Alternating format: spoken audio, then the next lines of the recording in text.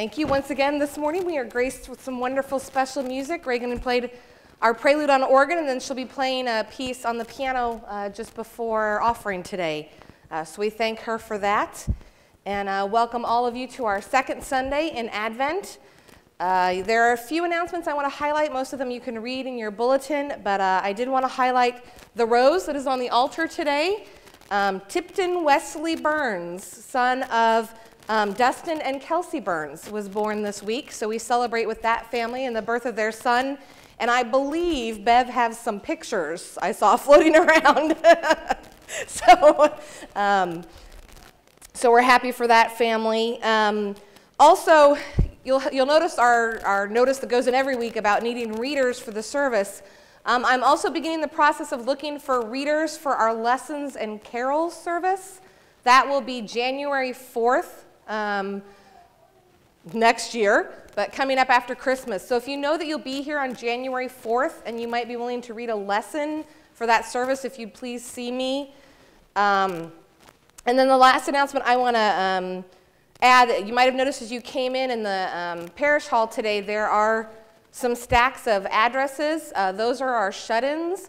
If you would like to send cards, I know they'd really appreciate it. Um, especially, you know, Lois, or uh, uh, Marion and Dorothy have moved quite a ways away.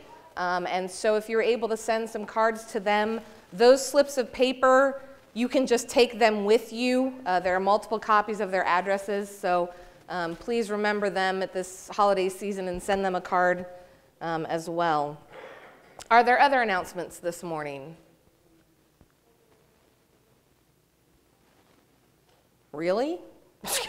oh, bad. There we go. for the food items for the food pantry, um, Tammy Kendrick came down with a couple of boys and uh, helped us take them through the, the food pantry. And of course, our church was an abundance of stuff. so thanks. Um, Rick. Mark Jeremy, I have an announcement, I don't have any announcement. Okay. Um, are there any additions or updates for the prayer list this morning? All right, well then, um, also this morning you may have noticed my parents are here visiting again from the coast of Mississippi where it's 70 degrees. They came here. So we're very, I'm happy to have them, but uh, my mother will be doing the sermon today. I'll be doing the rest of the service, but she'll be offering us the, um, the sermon this morning. So I thank her for that. um, all right, if there are no other announcements, then we begin this uh, service with our Advent Confession and Forgiveness, which is found on your bulletin insert and also on the screen. Uh, if you would please stand as you are able.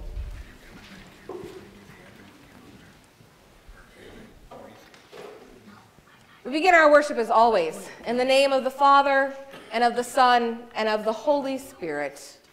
Amen. The Lord of Advent tells us to be watchful for his coming, keeping our lamps lighted and our hearts clean. Therefore, let us confess to the Lord.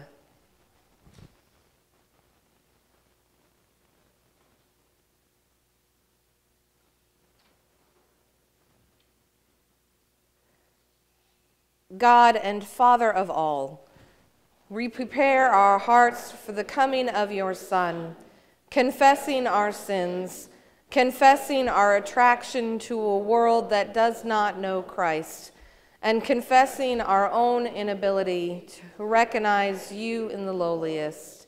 Forgive our sins, cleanse our hearts, help us to serve your people, and keep us faithful for the promised coming of your Son, Jesus Christ our Lord. Amen. God sent his son, the babe of Bethlehem, to show his infinite love and forgiveness for all. Your sins are forgiven in the holy name of Christ, who came and who will come again. Amen.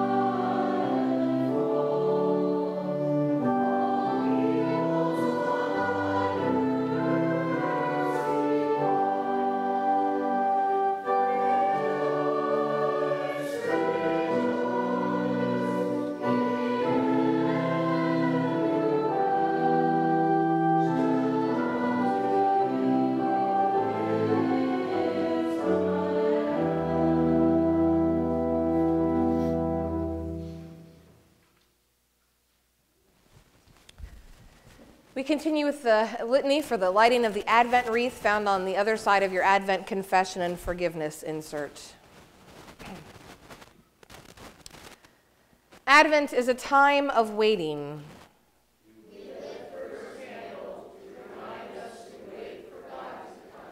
Advent is also a time of preparation.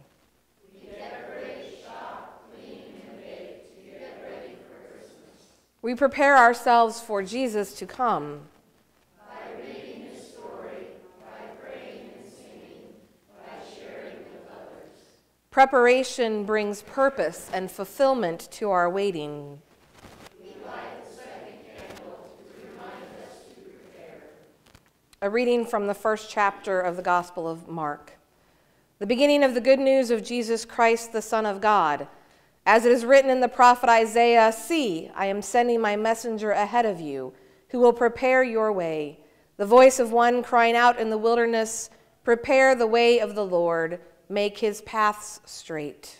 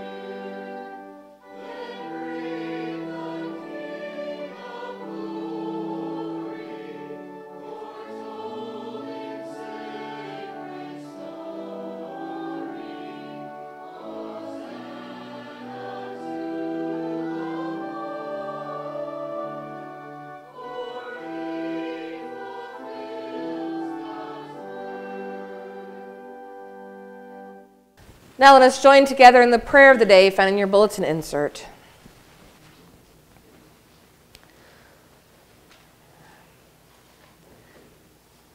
Stir up our hearts, Lord God, to prepare the way of your only Son. By his coming, strengthen us to serve you with purified lives. Through Jesus Christ, our Savior and Lord, who lives and reigns with you in the Holy Spirit one God, now and forever. Amen. May be seated.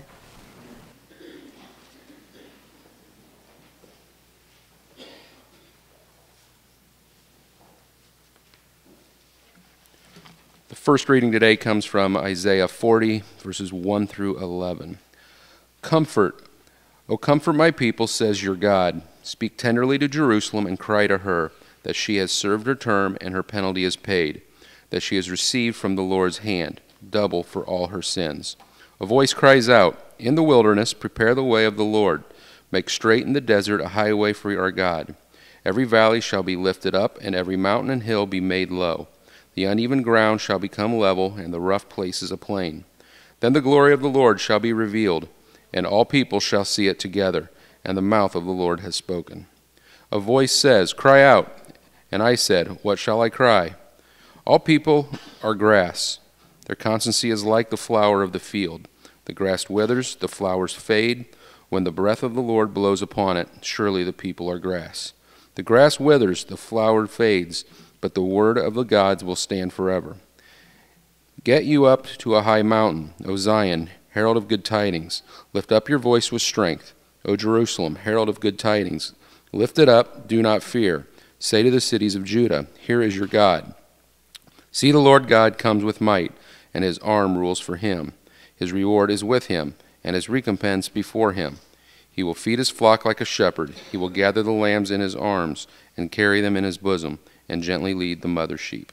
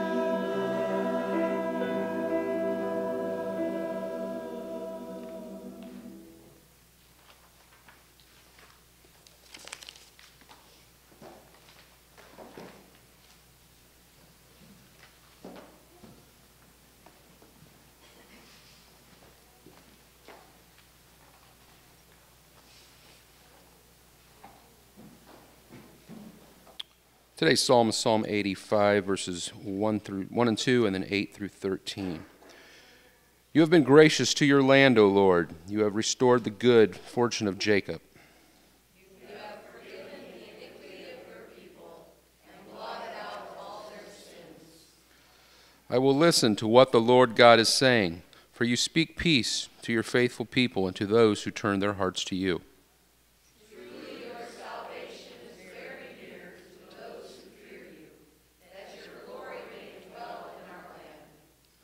Steadfast love and faithfulness have met together. Righteousness and peace have kissed each other. Faithfulness shall spring up from the earth, and righteousness shall look down from heaven.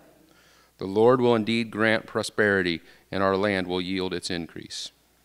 Righteousness shall go before the Lord, and he shall prepare for God's pathway.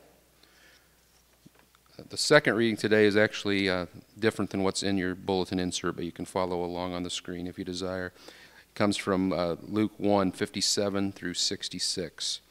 Now the time came for Elizabeth to give birth, and she bore a son. Her neighbors and relatives heard that the Lord had shown his great mercy to her, and they rejoiced with her. On the eighth day they came to circumcise the child, and they were going to name him Zechariah after his father. But his mother said, No, he is to be called John. They said to her, None of your relatives has this name. Then they began motioning to his father to find out what name he wanted to give him. He asked for a writing tablet and wrote, His name is John. And all of them were amazed. Immediately his mouth was opened and his tongue freed, and began to speak, praising God. Fear came over all their neighbors, and all these things were talked about throughout the entire hill country of Judea. All who, all who heard them pondered them and said, What then will this child become? For indeed the hand of the Lord was with him. Here ends the second reading. I invite the young people to come forward.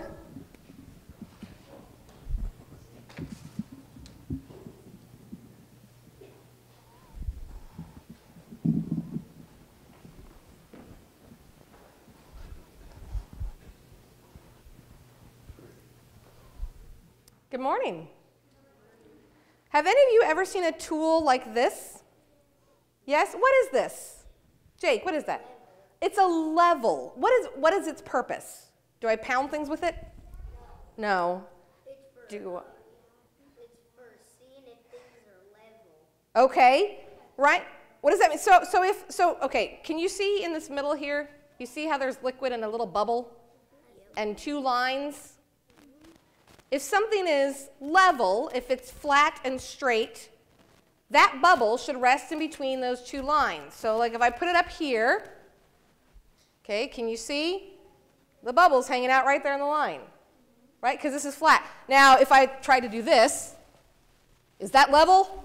No. right? The bubble's kind of all over the place. Today, in several of our readings, we hear about God making things level, paths straight, things made prepared properly, level. What do you think that means? Do you think that, that God's going to come and make the entire earth flat? No. no? Yeah. no. What do you think that means? That things are going to be made level, pathways straight. What do you think, Will? Measured. Okay, he's gonna he's gonna look over the earth, right? And he's going to bring good news, peace, joy, right? What are we waiting for? The birth of God. Right? Yeah. Okay, so today we hear about John. So the people in the time of John, they were sort of like this. Okay, they're way down here. They're weighed down by a lot of heavy, terrible things. Big armies trying to attack them, poverty, just bad things. They're way down. They're way down here. And God sends somebody named John. We're going to hear more about him, John the Baptist. And he says, John, prepare the people for the coming of Jesus. So you would think John was, okay, let's get prepared and nice and calm and sweet, right? No, John comes and he goes, get ready! get ready for Jesus. He wears camel hair and eats bugs and says wild and crazy things. And people are like, whoa, what is this guy doing? But he prepares them so that when Jesus comes and Jesus brings all that good news, they're ready for it. They're ready to hear it. They're ready to level out their life and say, wow, there are good things happening and good things coming, and God has prepared us for them. So let me ask you a question Have you ever felt like this? Where things are bad and weighing down on you, you're unhappy, you're sad, you're confused, right? Or have you ever seen anybody else like that? Maybe one of your siblings or your parents or somebody who's just unhappy and sad and tough? Guess what you can do? Take the good news that God gives you and help level somebody out. Right? Say, you know what? I know things are rough. I know things look bad and you're sad and upset, but God is there for you. And I'm here for you to help. Same as people do for you, right? When you're having a bad day, sometimes somebody gives you a hug, somebody makes you feel better, and you say, okay, it's not that bad. Right? That's what it means when God says He's going to send John to prepare us to help make things level and straight because Jesus is coming and Jesus is the one who helps to keep us level in those lines, right? Not like this, not like this, not completely upside down, but level.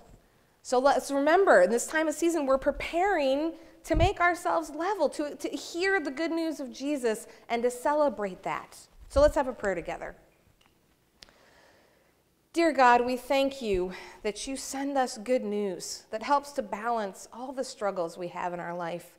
And not only just to balance them, but to make things joyful and to allow us to spread that joy to others so they too can feel calm and level and happy. We thank you for this wonderful gift that you give us in the name of your coming Son, Jesus. Amen. Thanks for coming up.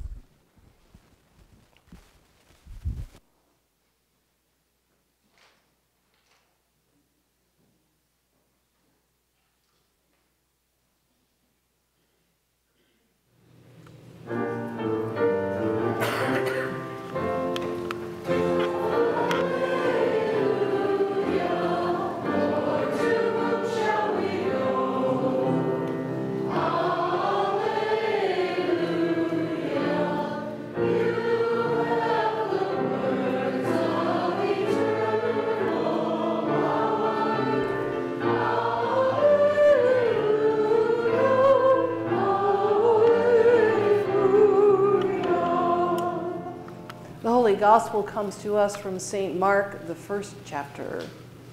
Glory to you, O Lord. The beginning of the good news of Jesus Christ, the Son of God.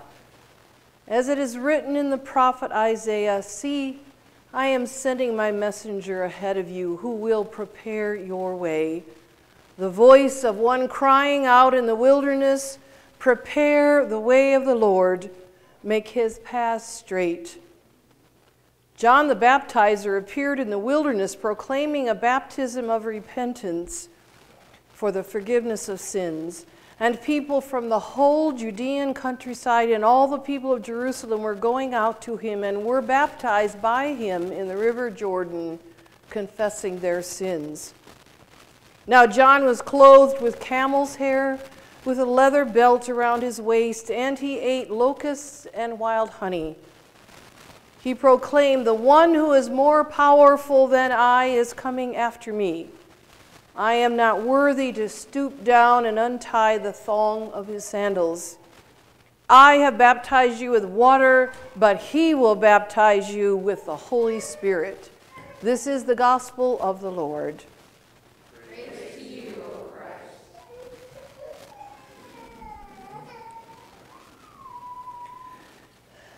Grace and peace to you from God our Father and our Lord and Savior, Jesus the Christ.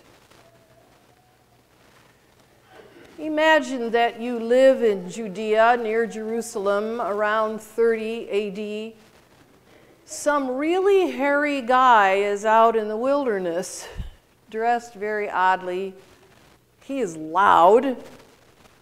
He spends his days telling people over and over that what they have heard in the temple for hundreds of years is now about to be real. Get ready for the Lord's coming. Repent and be baptized. Things must be straightened out, and the time is now. So begins the Gospel of Mark. Notice that there's no Christmas story no Bethlehem, no wise men, no star. nothing cute or heartwarming. All the people in Mark's gospel need to know is that the Messiah is near.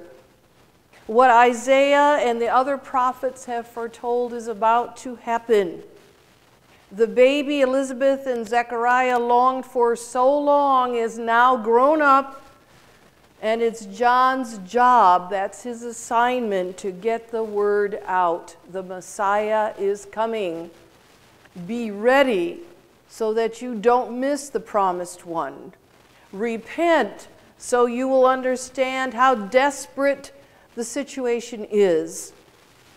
John harkens back to the prophet Isaiah, who so beautifully envisioned a Savior, who said the glory of the Lord would be revealed and all people would see it if they understood the truth of their lives, if they would look to God and not any other thing, not any other thing, not an idol society has created, not to yourself. Be shaken up enough to be shaped up. Listen and be exceedingly glad that the penalty has been paid because we are sinners and we are stiff necked and we do perpetuate evil. Be glad, exceedingly glad that God will not remember our sin, but only remember his love for us. And they came. And they came. And they listened. And they confessed their sins. They came for that baptism in the river to be ready. Let me ask you a question. Does this phrase sound familiar to you from years ago? I didn't do it. It wasn't me, Dad. I don't know how that happened, Mom. How about these answers that seem to pop up on the news all the time? Did you participate in this, sir? No, I never. Or the answer, it depends what you mean by and then fill in the blank.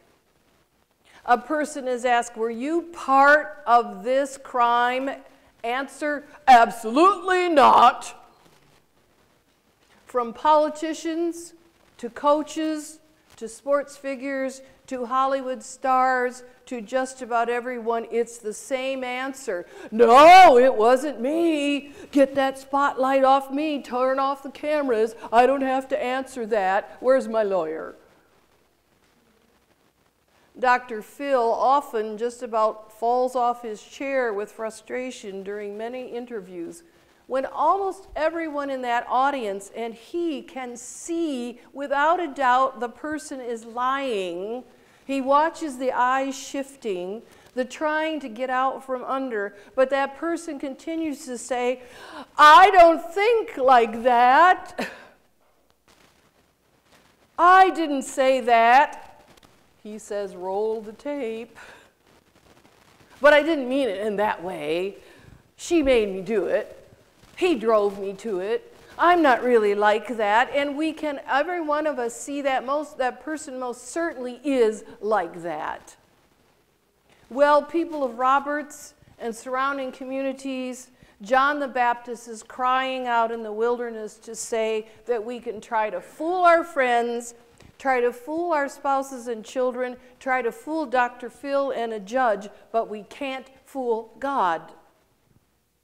It's to our absolute peril when we don't want to fess up while there is time. A friend called me a few weeks ago so upset because a, few, a former teacher at the school where she taught in middle school had been arrested for molesting a number of young boys over the years. She never did like him. She always thought there was something a little off about him. She didn't think he was a good teacher. He was always very full of himself, like he was the best teacher in the whole school, and he made snide remarks to other teachers. He was claiming he didn't do anything. He was a good man. He would just take these boys on summer trips, so more education for them. He, and he kept saying that even though 12 young men, now they're young men, came forward to say something horrible happened on those trips. She asked me, as her former pastor, what to do. She knew that the Lord commanded her to pray for everyone, even your enemies, and she said, I'm really trying to pray but it usually comes out, Dear Lord, I really would like his like teeth to fall out or for him to break out in boils or something. what could I pray that would be in line with what the Lord would want? I told her, please pray that he will repent, that he will admit what he did.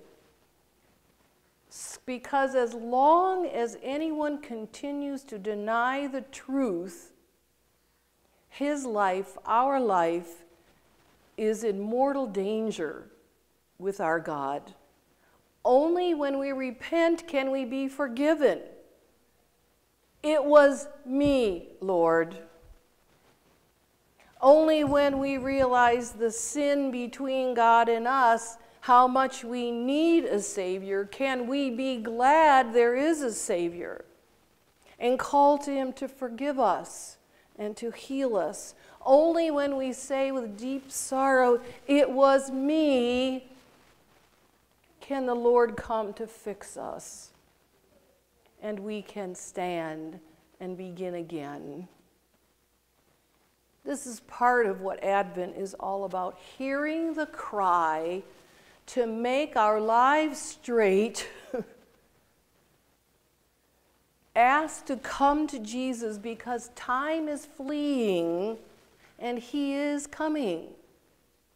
This is our golden opportunity these weeks to understand that we need to humble ourselves before the Lord and admit who we really are, or we will miss Him. We will be left to ourselves. Good Lord, left to ourselves to figure out how to get through this world. We cannot build enough storehouses or gather up enough gold to rid ourselves of our guilt or our shame or our fear or add one more day to our lives. We cannot save ourselves at all. Only God can do that, and God is waiting to do that when we admit that we've put our trust in too much stuff, we have not loved our neighbors as ourselves, we have not wanted to do His will, we have gone our own way and not His way. I have done this. I have left this undone. It was me. Come, O Lord, and teach me. Put me on the right path so I may live. Be my shepherd. Then people of Judea and Samaria and Illinois and Mississippi, then God can rush in with blessings, with the words of his prophets and his son, and forgive us. I tell you that you will receive double blessings because the truth is told and we begin to trust God with everything, and we have humbled ourselves. We have asked for mercy. Comfort, comfort my people, says our God. And what seemed hopeless is transformed.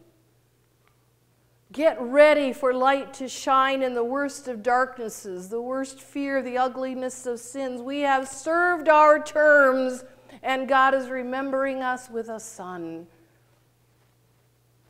I know, Jesus knows that since childhood we have never liked having the hammer come down on us. we have wanted to shift the blame to brothers, sisters, classmates, anyone. But know that it is love that calls us to account, so we will not keep killing ourselves, ruining our lives, but have the chance to be forgiven and begin again. Emmanuel, God with us, is coming, says John the Baptist, the powerful one who baptizes us into the family of God and sends us the Holy Spirit to shake us up, teach us, revive us, lead us to the right and the only path. He will be here any minute. So let go of what is wrong what is condemning us all and invite Him into our hurting hearts. We confess to Him that we have sinned, and please remember that sin is sin is sin.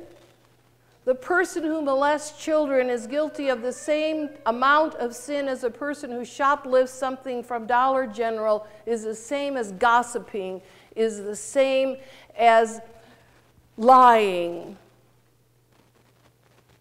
We confess we have forgotten, we have ignored, we have covered up or tried to, and now we are heartbroken and afraid. Give us strength for this new day that is coming, Lord. Jesus wants to give us every gift, but we have to take the time, know that there's only a certain amount of time to stop clinging to bad stuff, foolish stuff, idols, anything in this world. We have to want to be with Him. And now is the time while there is time. You may have heard the joke about the devil wanting to go on vacation and interviewing three demons for the job of interim devil. Well, first devil, what will you do to thwart Christians? One says, I'll tell them there is no God. Tried that, says the devil. The second demon says he'll tell them that Jesus is just a historical figure, just a guy. Been there, done that. The winning candidate says, I'll tell them they have all the time in the world. Hired, says the devil. It was me, O oh Lord. And I hate that it was me and I know something is very wrong, and I'm here to ask to change. We have heard the voice of the one crying in the wilderness. We want forgiveness now, O Lord. We want to see Jesus now, O Lord. Hence the warning. He's coming. And he's coming soon in his glory to be right beside us in this muck and mire. He wants us that much to come right here to be with us. He's here with us today in bread and wine so that we don't have to be afraid of what was in the past or what we do now or afraid of those enemies, what the world can do. We don't have to be afraid of the past or the present or anything before God, just say it now and be healed, be loved. Shout like the baptizer and sing like the redeemed. Amen.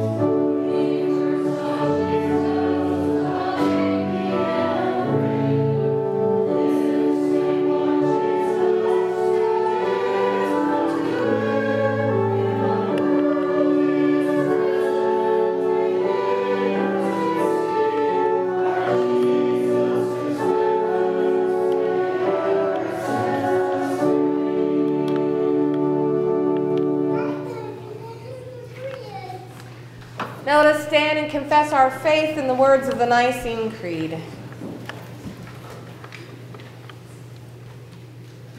We believe in one God, the Father, the Almighty, maker of heaven and earth, of all that is seen and unseen.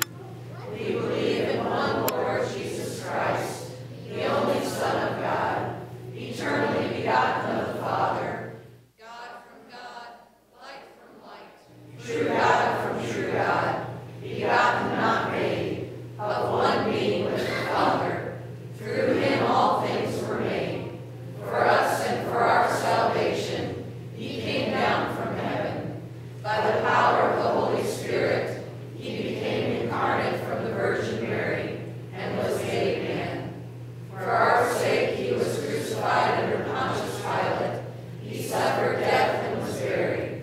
On the third day, he rose again in accordance with the Scriptures. He ascended into heaven and is seated at the right hand of the Father. He will come again in glory to judge the living and the dead, and his kingdom will have no end. We believe in the Holy Spirit, the Lord and giver of life, who proceeds from the Father and the Son. With the Father and the Son he is worshipped and glorified. He has spoken through the prophets. We believe in one holy Catholic and Apostolic Church. We acknowledge one baptism for the forgiveness of sins. We look for the resurrection of the dead and the life of the world to come. Amen.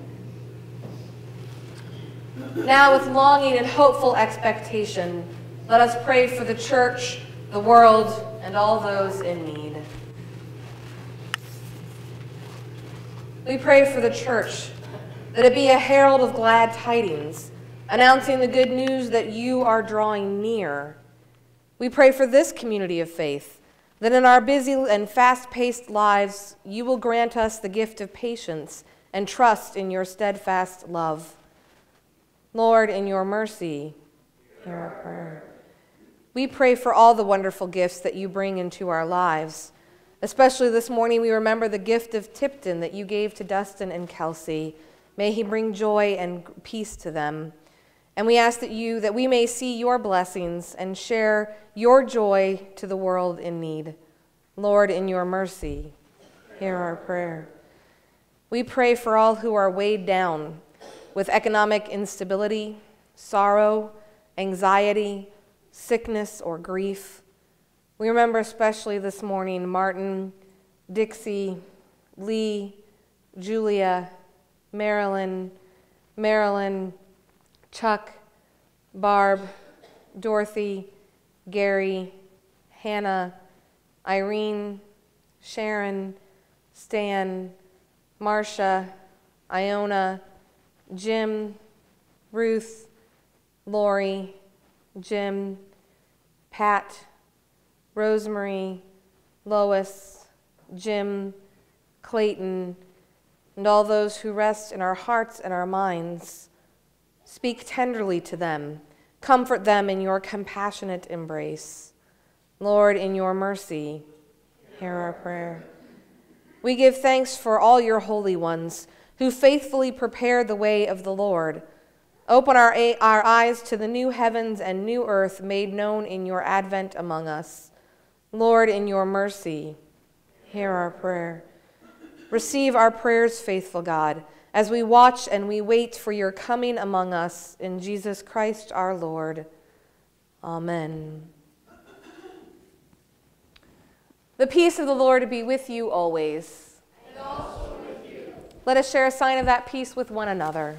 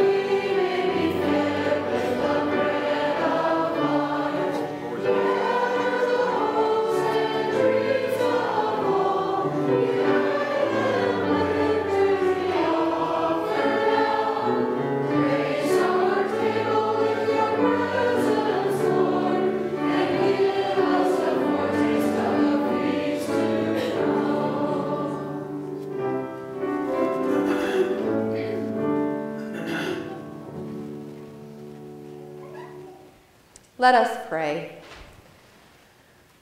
Merciful God, we offer with joy and thanksgiving what you have first given us, ourselves, our time, and our possessions, signs of your gracious love. Receive them for the sake of him who offered himself for us, Jesus Christ our Lord. Amen. The Lord be with you. Lift up your hearts. We lift them to the Lord. Let us give thanks to the Lord our God. It is right to give our thanks and praise.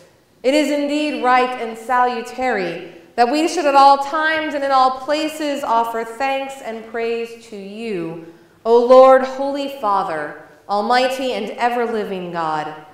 You comforted your people with the promise of the Redeemer, through whom you will also make all things new in the day when he comes again to judge the world in righteousness.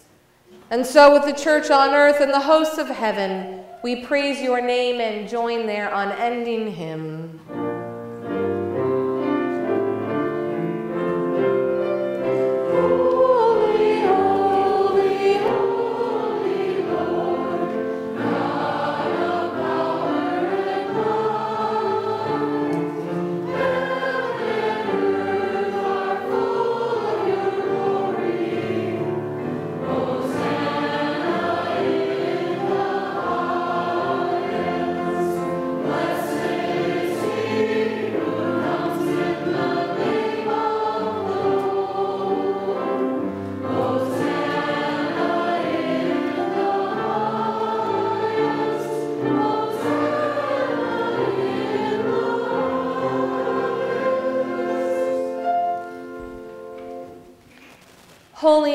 And merciful Lord, heaven and earth are full of your glory.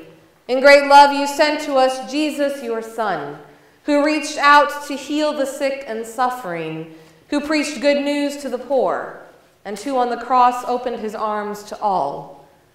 In the night in which he was betrayed, our Lord Jesus took bread and gave thanks, broke it and gave it to his disciples, saying, Take and eat. This is my body given for you. Do this for the remembrance of me. Again, after supper, he took the cup, gave thanks, and gave it for all to drink, saying, This cup is a new covenant in my blood, shed for you and for all people for the forgiveness of sin. Do this for the remembrance of me. Remembering, therefore, his death, resurrection, and ascension, we await his coming in glory. Pour out your Holy Spirit, that by this holy communion we may know the unity we share with all your people in the body of your Son, Jesus Christ our Lord. Through him, with him, in him, in the unity of the Holy Spirit, all honor and glory is yours, Almighty Father, now and forever. Amen. Lord, remember us in your kingdom and teach us to pray. Our Father, who art in heaven, hallowed be thy name. Thy kingdom come, thy will be done, on earth as it is in heaven. Give us this day our daily bread, and forgive us our trespasses as we forgive those who trespass against us. And lead us not into temptation, but deliver us from evil. For thine is the kingdom, and the power, and the glory, forever and ever. Amen. The gifts of God for the people of God. Come and eat.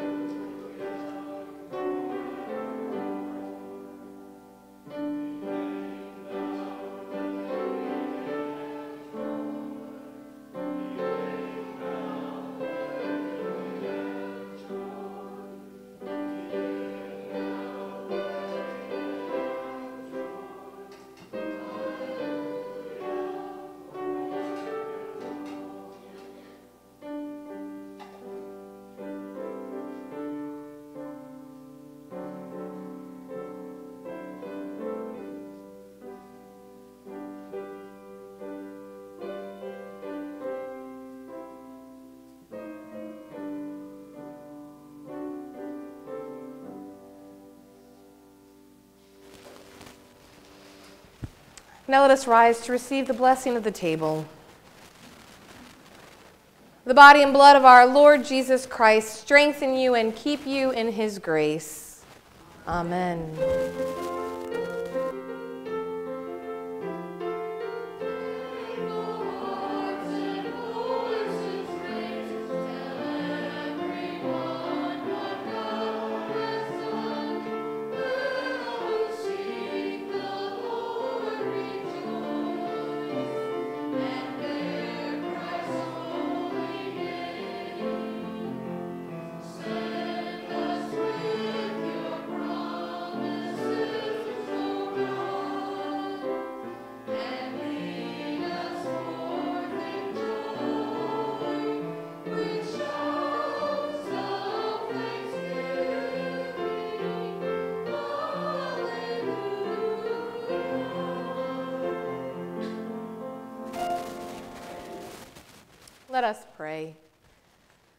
Almighty God, you provide the true bread from heaven, your Son, Jesus Christ our Lord.